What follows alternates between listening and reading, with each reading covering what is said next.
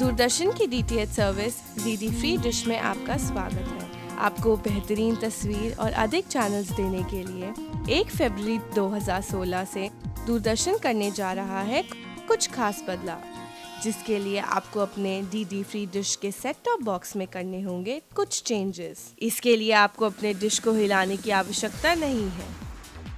सबसे पहले अपने सेट टॉप बॉक्स के रिमोट से मेन्यू दबाएँ। फिर इंस्टॉलेशन मेन्यू पे जाएँ।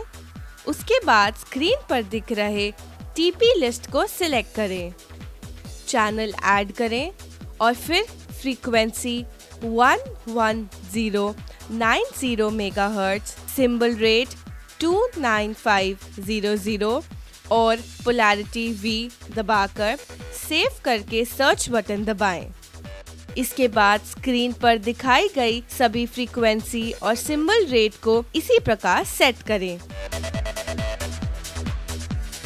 तो लीजिए आपका डी डी फ्री डिश का सेट टॉप बॉक्स